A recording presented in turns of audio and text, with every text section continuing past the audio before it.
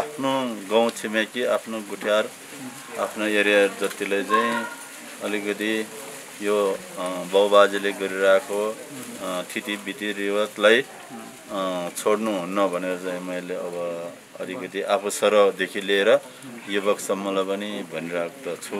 अझ पनि प्रभावकारी रूपमा चाहिँ हामी अघि बढ्न हामी छलफल उहाँ लिएर आउँदाखेरि त्यहाँबाट यो एकीकरण गर्न पायो भने हामीले एक हुन्छ अरे भनेर उहाँले भन्नुभएको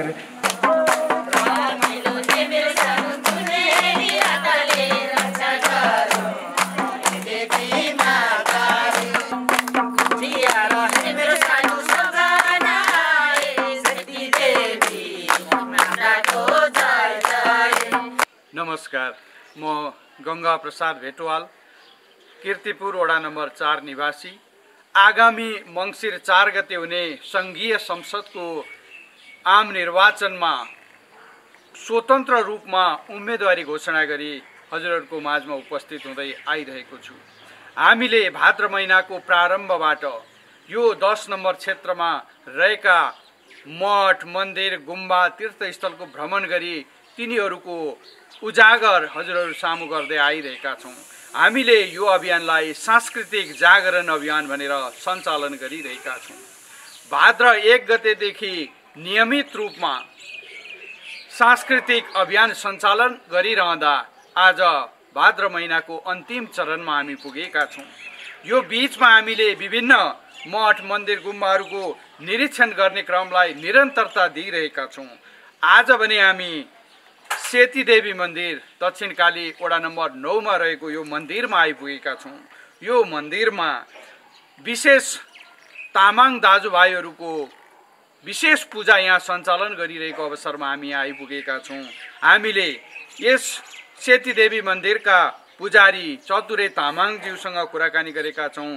लालबहादुर तामाङ जो गुठीको अध्यक्ष हुनुहुन्छ उहाँसँग पनि कुरा गरेका छौँ र यहाँ रहनुभएका दाजुभाइ दिदीबहिनीहरूसँग स्नेह साँटासाँट गरिरहेका छौँ।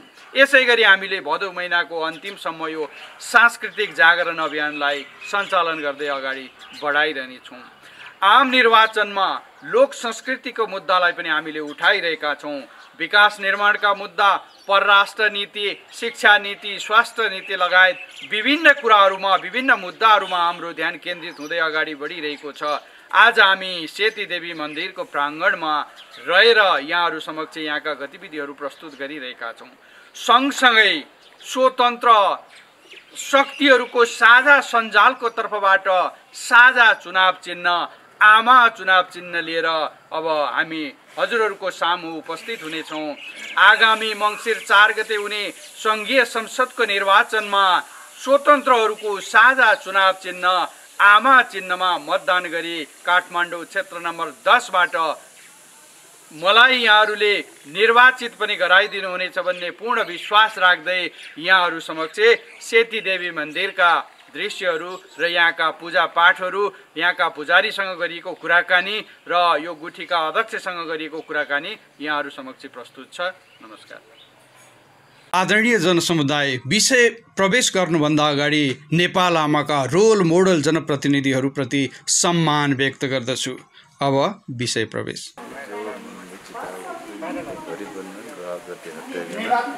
रक्षा गरिदिनु पर्छ कालदेवी सिटीदेवी चण्डीदेवी सातदेव नागदेव धन बत्ती बासहरूले रक्षा गरिदियो जो मनले चिताउँछ उयो मनको जहाँ गए पनि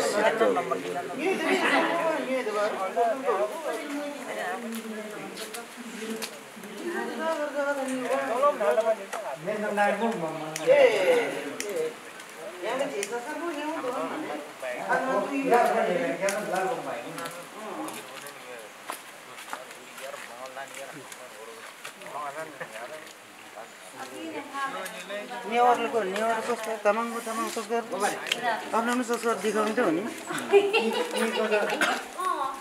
अनि माहेब्रा झगडौँ भनौँ यहाँ दिदी संस्कार अहिले हामी यो दक्षिणकाली नगरपालिका वडा नम्बर नौमा रहेको यो पवित्र स्थलमा छौँ। यो एउटा पूजा भएको सु अवसर पनि हो। एक किसिमले भाग्यले भनौँ न यस्तो अवसरमा जमघट यत्र मित्रजनहरूसँग जमघट हुने अवसर पाइयो खुसी लागेको छ। यो थानको बारेमा पवित्र स्थलको बारेमा हजुरलाई जानकारी भएसम्म हजुरको नाम पनि भन्दै होइन? अलिकति यसको बारेमा बताइदिनुहोस् न। मेरो नाम चतुरी तामाङ। यसको अब यो यसलाई चाहिँ अहिले मात्रै स्थापित गरेको होइन। धेरै पहिलादेखि नै स्थापित गरेको रहेछ। बाउ बाजे बाजेभन्दा नि पहिलेको धेरै अनादिकालदेखि भनौँ न थाहा नभएको समयदेखि। यसलाई चाहिँ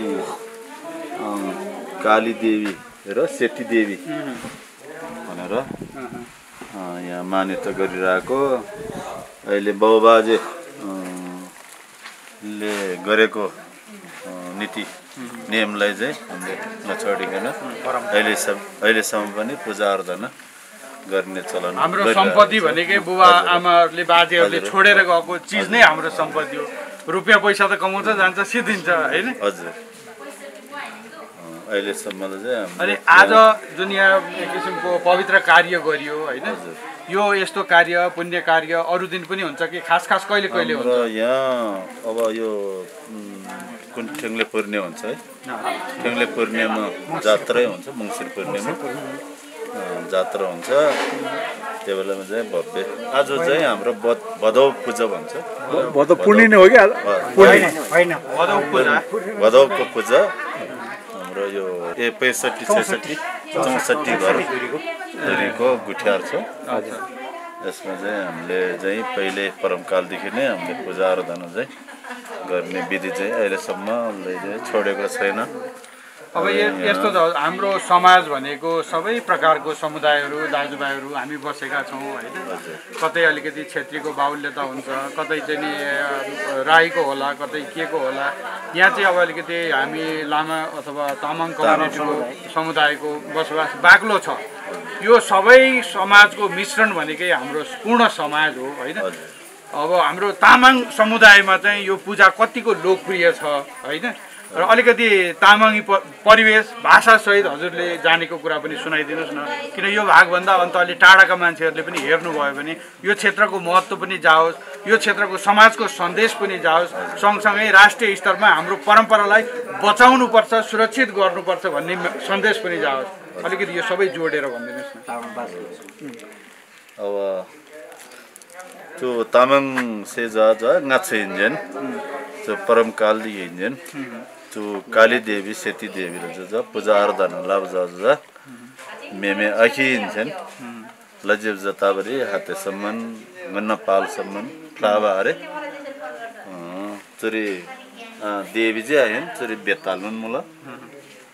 यहाँ बेताल सरस्वती देवी काली देवी सेती देवी चण्डी देवी यांला सरी जम्मन मला। मान्छे जा ngats मेमे आखेला पाले नि मेमे दुखे लाभ जंगा छ तर मेमे दुखे आरे उगा तर आते जा नाति दुखे लजे मला अते भैरव कुमारी चोरी न्यमुगा दे मान्दे मला नाग नागिनी जम्मन मान्दे जमला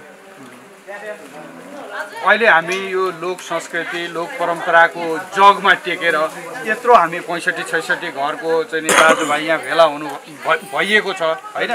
सम्पूर्ण देशभरिका नेपाली दाजुभाइ दिदीबहिनीहरूलाई हाम्रो लोक संस्कृति बचाउन यो हाम्रो परम्परा बचाउन के गर्नुपर्छ जस्तो लाग्छ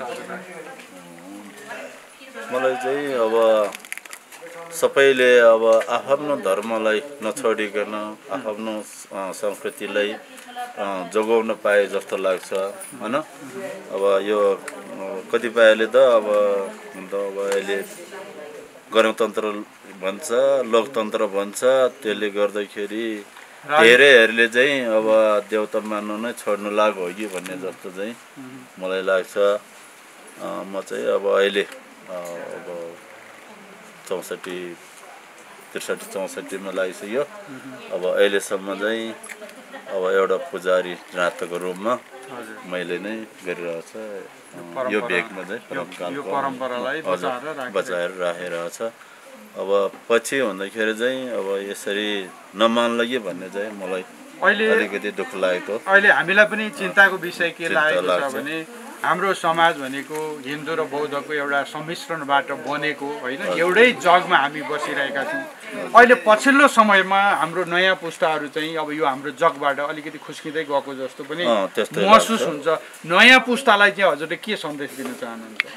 अब नयाँ पुस्तालाई अहिले स्कुल पढ्ने कलेज पढ्ने नयाँ हुन्छ नि। अब मैले भन्दै जा गरिरहेको छु। अब हाम्रो समाजलाई चाहिँ अब अन्त सबै ठाउँमा भन्नु मैले पनि सकिरहेको छैन। जस्तो अब यो त अलिक टाढाको मान्छेहरूले पनि हेर्नुहुन्छ नि त। अलिकति आफ्नो गाउँ छिमेकी आफ्नो गुठियार आफ्नो एरिया जतिले चाहिँ अलिकति यो बाउबाजेले गरिरहेको थितिबिती रिवाजलाई छोड्नुहुन्न भनेर चाहिँ मैले अब अलिकति आफू सरदेखि लिएर युवकसम्मलाई पनि भनिरहेको त छु। अब भन्दा भन्दै पनि अब उहाँहरूले अब निज मारेर बस्यो भने मेरो पनि के लाग्छ र? राज्यले पनि राज्य स्तरबाट पनि। हाम्रो लोक संस्कृतिलाई बचाउने अभियान चाहिँ ल्याउनु। पर्यो। हजुर। मलाई चाहिँ त्यस्तै लागिरहेको छ। धन्यवाद हजुरले समय दिनुभयो। हजुर। मेरो नाम लालबहादुर तामाङ। यो चाहिँ हाम्रो पहिला परमकालदेखि श्री सेती देवी मन्दिर। श्री सेती देवी मात्रै नभइकन श्री काली देवी सेती देवी चण्डी देवी। यो मन्दिर पहिला बाउबाजे परमकालदेखि भएको रहेछ। उहाँहरूले गरिरहेको यो परम्परालाई चाहिँ जोगाउनको निम्ति हामीले हाम्रो चौसठी घर धुरी गुठियार भाइ छ हुनुहुन्छ। उहाँहरू सबैले चाहिँ समेटेर अहिलेसम्म परम्परालाई चाहिँ हामीले निरन्तरता रूपमा हामीले दिइरहेका छौँ।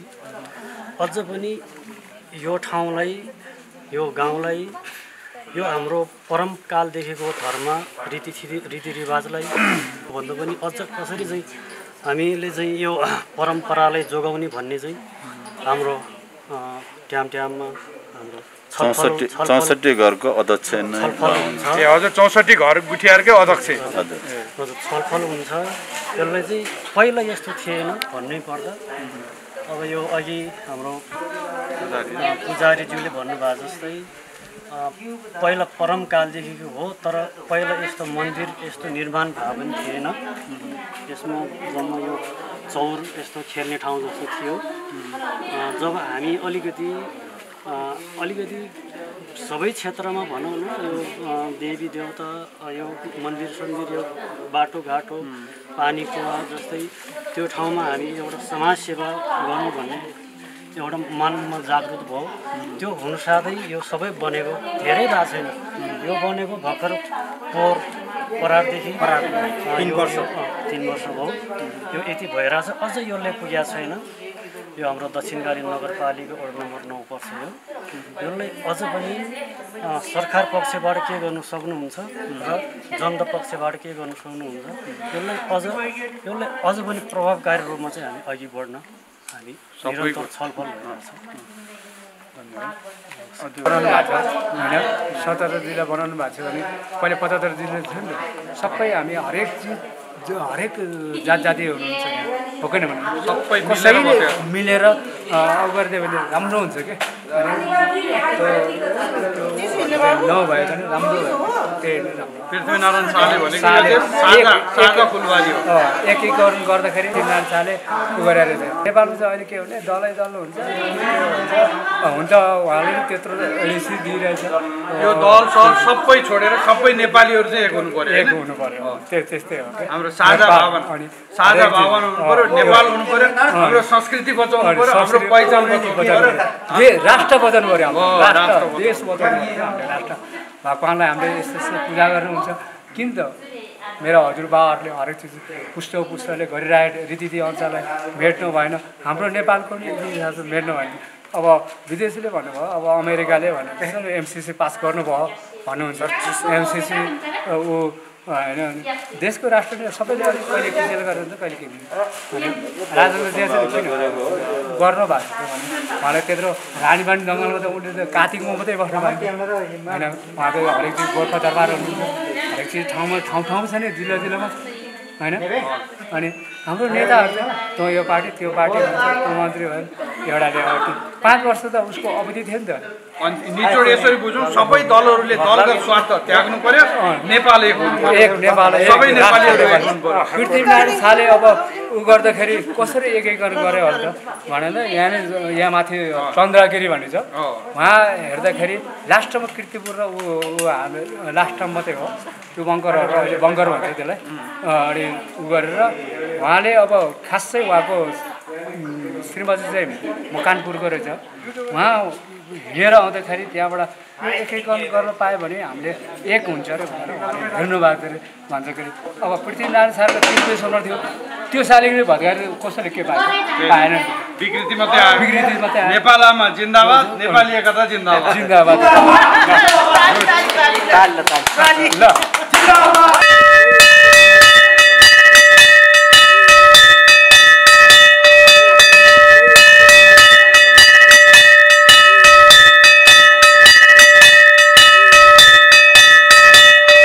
हजुर यहाँबाट हेर्दा त एकदम आनन्द देखिँदो रहेछ होइन? यो लोकेसनको बारेमा अलिकति सर र हाम्रो दर्शकहरूले देशभरि रहनुभएका नेपाली दाजुभाइहरूले जान्ने गरी बुझ्ने गरी होइन यस्तो शीतल हावा आउने ठाउँको बारेमा यो हाइटबाट सर र एकचोटि बताइदिनु त। होइन हाइटहरू यहाँ सबै छ शीतल छ यहाँ होइन। जाडोमा जाडो अलिक क- कमै जाडो हुन्छ खास यो कुहिरो लाग्दैन। थाम्न सकिने जाडो हुन्छ। थाप्न सकिन हुन्छ नि। अनि यहाँ ऊ जस्तो हुसो लाग्दैन कि त्यति। अहिले जङ्गलमा लगाइरहेछ त्यो यस्तो हुसो छ नि हाम्रो लाग्दैन। यो अब लागेको छ मनमा त्यस्तो लाग्दैन। हजुर हजुर हजुर। अनि त्यसपछि आएर अनि हाम्रो चाहिँ सिकर ठाउँ छ।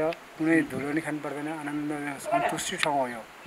अनि अब यो रोड यो ऊ पर गुम्बा देखिन्छ नि यहाँबाट। हजुर। त्यो गुम्बालाई के नाम भन्छ? यो शेर्पा गुम्बा हो। यो शेर्पा गुम्बा यो है दिप छिरिङको ऊ भाइको गुम्बा ए देव छिरिङको भाइको गुम्बा। गुम्बा खम्बु अगाडिको यो। सबै उसले होइन। गुम्बामा भनेर त्यसै देश विदेशबाट पनि आउनु हुँदो रहेछ। भने यो क्षेत्र त ज्ञान भूमि रहेछ नि। अनि योभन्दा मुनि छ नि अब त्यो भयो। अनि त्योभन्दा गुरुहरू चाहिँ भन्छ नि असुरो भन्छ नि। असुर गुफामा हामी अस्ति गइसक्यौँ। त्यो- त्यो माथिभन्दा सिडीबाट छ नि। त्यहाँबाट माथितिर सिधा आउनुभयो भने ऊ यहाँ ट्याङ्की त्यो चाहिँ सेतो देखेर ट्याङ्की उतापट्टि मन्दिर छ मन्दिर फेन्सिङ भएको छैन। सिडी डबल के टु वाइ छ के? अनि मैले नि अहिले त्यो सामान लान नसकेर काम गरेको छैन त्यो असुर गुफा भने वज्रयोगिनी मन्दिरबाट माथि? माथि अन्त माथि वज्रयोगिनी मन्दिरमा मन्दिरमा चाहिँ तान्त्रिक तान्त्रिक विधिबाट त्यहाँनिर साधना गर्ने। माथि चाहिँ गुफा होइन अब गुरुहरूमा चाहिँ बुद्ध बस्ने ठाउँ थियो। त्यहाँ हामी अस्ति गएर त्यहाँ रिपोर्टिङ लोकोहरू छ त्यहाँ राम्रो राम्रो गुफा पनि त नेचुरल रहेछ त्यहाँभित्र होइन? भित्र ऊ छ अनि त्यहाँ तल उहरू छ यहाँ पनि। मेरो सानो देवीको खाना खारपा गाउँमा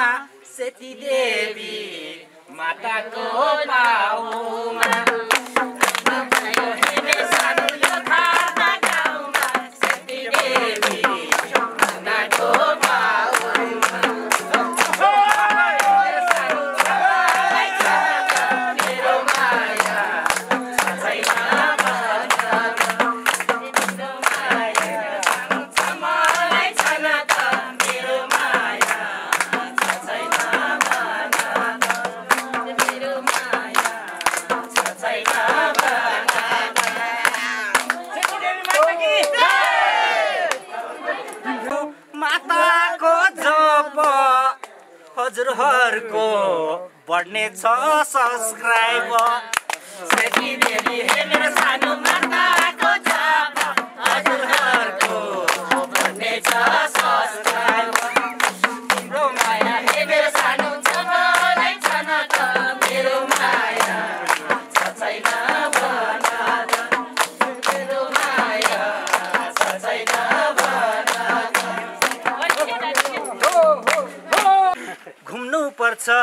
हे मेरो सानो मुलुक संसार जागए नि मातालाई पुकार।